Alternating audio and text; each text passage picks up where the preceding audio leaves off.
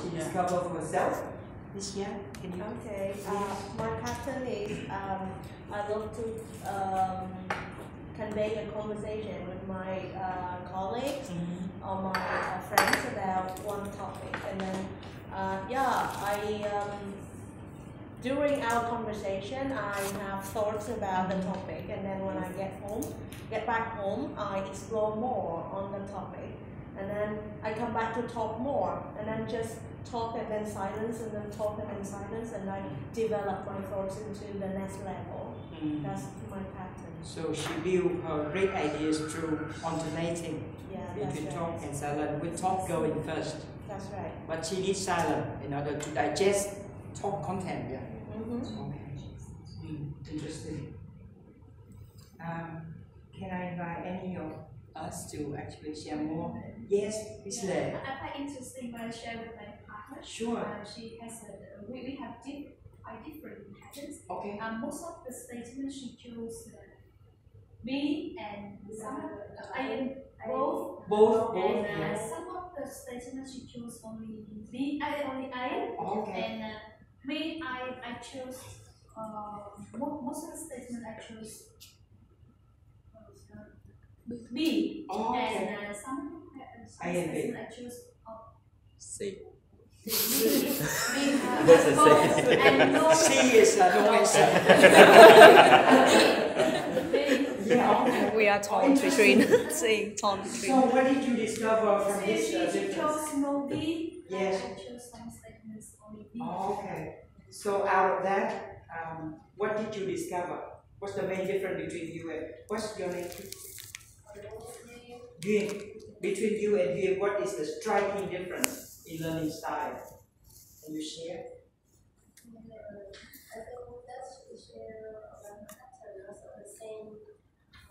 Okay, more like similar to this. Yeah, I, uh, I told myself I'm, uh, because I'm, uh, I, I told her I, I'm not so, I, I think that I'm not so good to think about new ideas all the time. So I need to get new ideas when I interact with Okay, people. sure. Then I uh, would get back and uh, yeah, start my silent thinking. yes. Uh, yeah, Fair enough. explore the Sounds very natural. and make the ideas uh, my own. Yep. Yeah. That's, the way I'm learning. Yeah. Yes, what about Miss Duyên? Uh, Are you very, are you somehow opposite to um, yes, uh, like, um, in some ways very different because uh, um, I don't choose any uh, question. I don't choose any only that Sure, I my style is more reflective uh, more reflexive, yeah. more reflective. Yeah. And, uh, if I I, think, that's Mhm. it's Right. Yeah. So you might start off approaching an idea or a topic by listening first, then you talk later. You're more cautious as a learner. But Miss Le take more risk. She explore. She doesn't mind sharing what she wants to say, and then she think later. Yeah, the order may be different. The pattern can be similar, but the sequence reflect who you really are as a learner reflective learner, but course talk definitely play a role as well. Um, I haven't seen anyone who the whole life just keeping silent, you know, unless you are born as such with no ability to listen. Yeah. Um, one more person. You, you, you look like you have ideas. she's like she's like this. Yeah. Ask me. Busy again. She mumble. She mumbling like, why don't you Make ask eye me? Contact with me. or you were looking at uh, something else. but I'm in the way, so you speak. yeah, uh, ten question, yeah, six question to choose answers. I Oh, okay, interesting. More A than B. Because in the group of people, Yes. Just sit there and listen to Right. all of my friends. Right.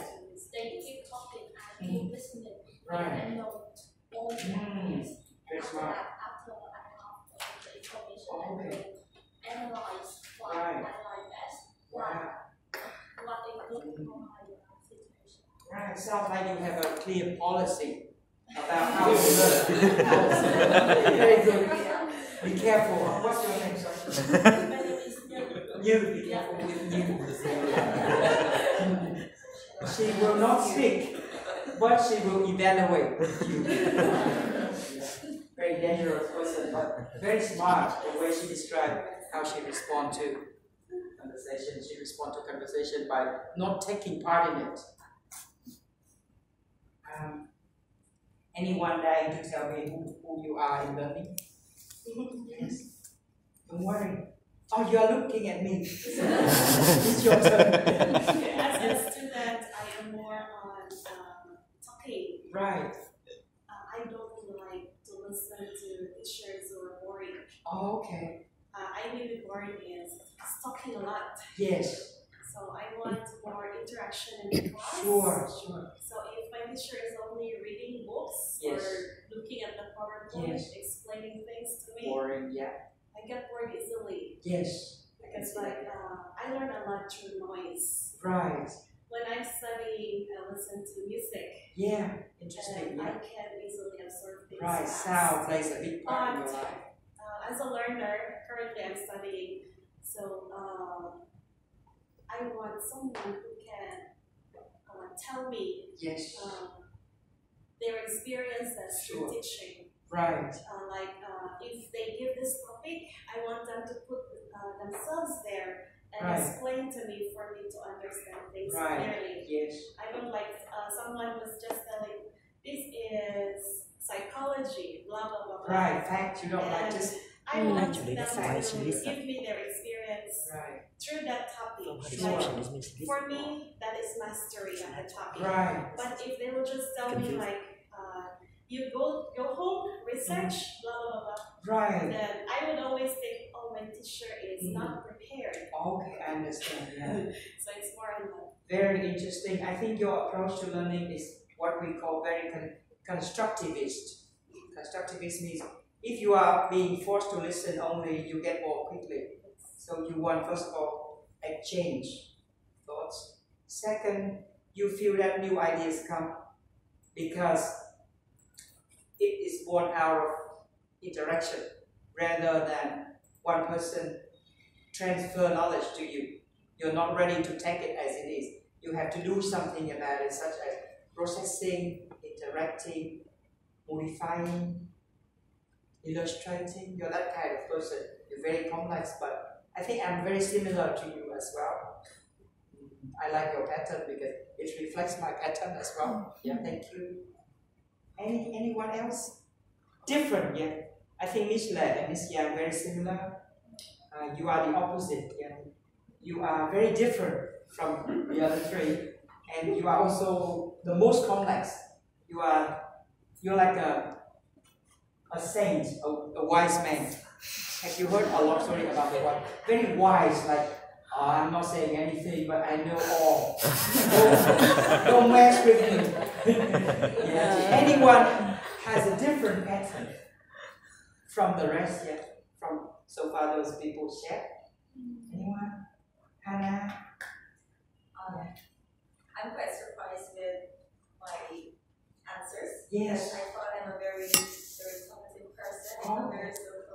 Right. But there are times that I really, really like quiet. Like when I Oh. sleep, I want to complete silence. Oh, okay. But sometimes silence is deafening to me. Right. So I just realized that I reflect on things first before talking. Hmm.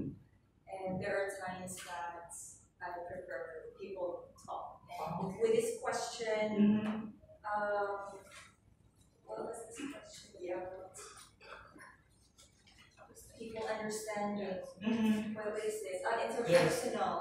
Right. Interpersonal. Yeah, a person who understands Listening, my yeah. silence is one who understands me deeply. Oh, Because people perceive me as a talker. Right. And then when I keep quiet, Right. I don't I don't know if they understand me Right. with my silence. Oh, okay. So Really interesting. yes. If there's someone like that in, in the future, you will marry him. He knows everything about you without having to listen to you. Yes, that's why I found Very it. Hard to find a person. yes. And when you say you, you used to think you are a highly sociable person, but now you discover that you socialize more with yourself. So, who, who says self-thought is not social? Yeah.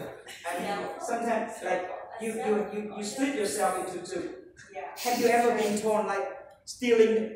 Have, um, one of my friends picked up a wallet in the street, and the wallet has a lot of important document and a lot of money, and she's torn between keeping the money and return the wallet, or return everything. yeah, that's self socializing, self talk, self talk. Um, one of my friends from in the Philippines, from Iloilo University, she studied self talk for her master degree. Self talk.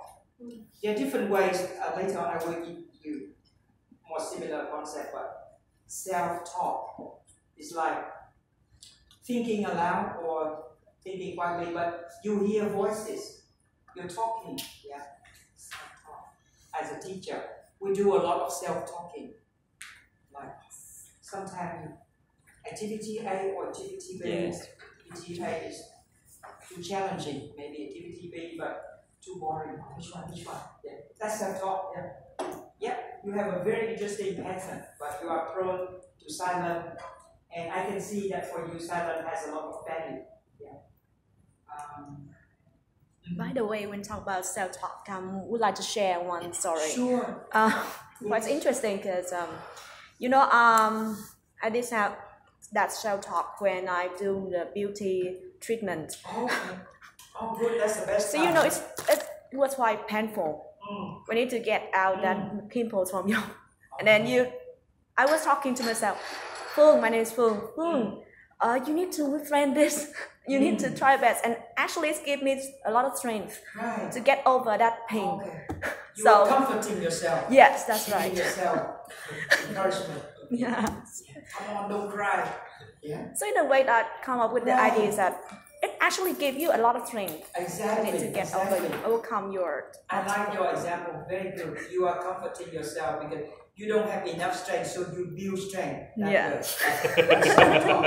I, there was a, there was a, um, an experiment I read about related to swearing, self-talk, but swearing like F word, you know, like damn, Yeah. bloody hell, and stuff like that. So this, this psychologist in, in, a, in the school, he did this experiment. He, he had two small, two groups of people in the room with a big box filled with cold ice and water.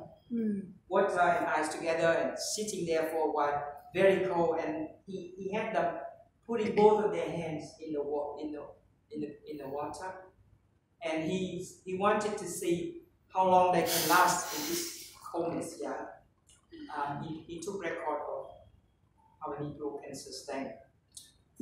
One group he allowed them to swear when you are frustrated, when you find the situation unbearable, and you try to hold on, hang in there. You can say anything you you like. Swearing, F word doesn't matter. We're not recording you. The second group must completely quiet. You can bite your lip, you can do anything, but you're not supposed to make a sound. Which group do you know? Do you think lasts longer?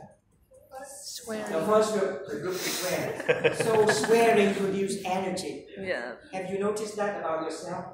Swearing yeah, produce energy. That's why in Chinese movie in Hong Kong, kung fu movie, sometimes people are fighting and they talk. so for Mr. Fu and I, "Yeah, I'm going to kill you. Really? Ow. Self-talk actually produce energy, and yours is an excellent example. of. Beauty salon, suffering, trying to be beautiful. Maybe apart from ah, hold on, there's, no, there, there's a visualization of the new you. Like, oh, Marilyn Monroe, I would look like her. So yeah, good, yeah, spirit. Yeah, new Thank you, thank you, spirit. exactly, exactly.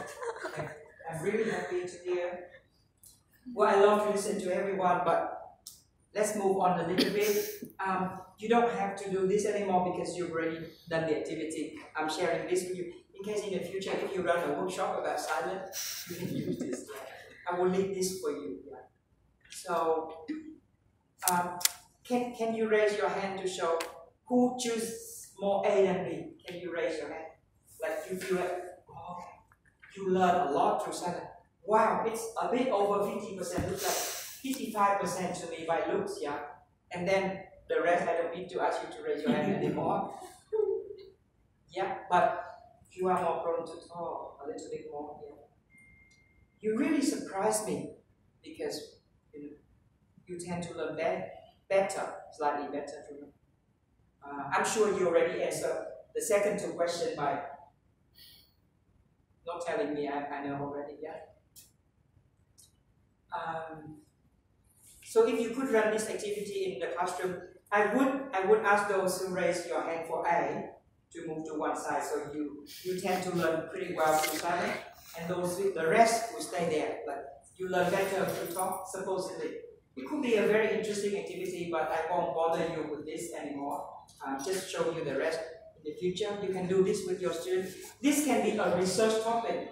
Everyone in this room can can use my slides and uh, my, my, my framework to conduct a research topic. Or we can all do it together. Reflection, yeah.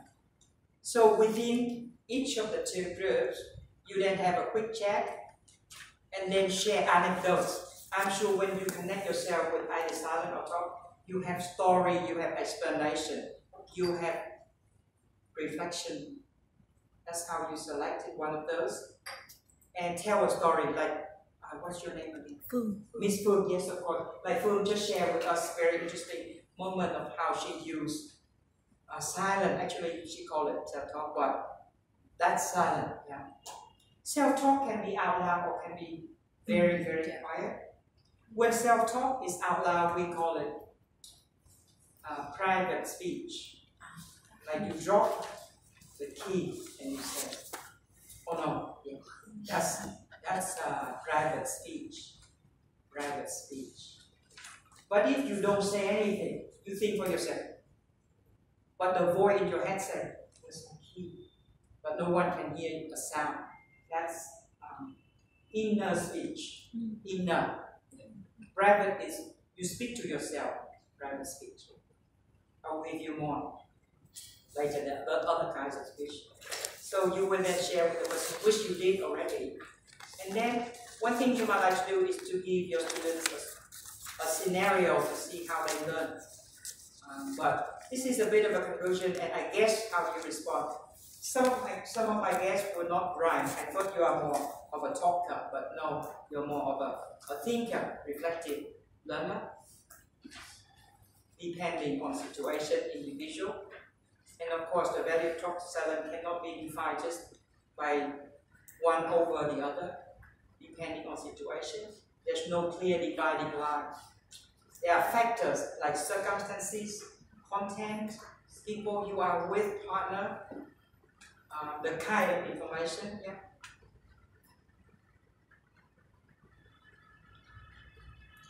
Um, this is a scenario that comes from real life. You will give your student this scenario and ask them to process it for, for a solution. This is a problem solving activity. Two friends, Alice and Emily, are planning to travel to Cairo, Egypt. Alice decides to dress herself in accordance with local, wearing long outfit and shawl. The reasons that when you are in a new country, you should show respect to the norm because Egypt is an Islamic country. Emily is the opposite. She wants to wear whatever she likes. Sleeveless tank top, a pair of shorts. She argued that it's her holiday, she paid for it. She should be able to dress it the way she feels more comfortable. So they dress differently. Alice feels it's very stressful if they wear inadequate clothes that attract too much attention. Yeah. But Emily believed that Egypt is hot and humid, so why you torture yourself? If you were to travel with Alice and Emily, how would you dress yourself? I put you in a difficult situation, very hard. So you give your student this activity and ask them That to resolve the issue know. in their own view. So two groups, you can say, uh, I think this is a bit artificial, but it can be interesting. The group who is more prone to silence will try to think among themselves and eventually share, maybe exchange thoughts a little bit. either in, in conversation or in writing.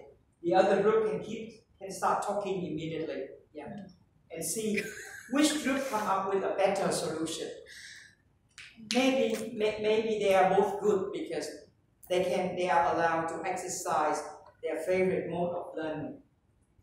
And then um, perhaps next time have another problem solving scenario and then switch performance. Say the group who enjoy silence now you have to talk. And the group who enjoy talking now you must completely shut up and come, come up with solutions to see whether um, when you are asked to do something against your personality and learning style, can you learn well?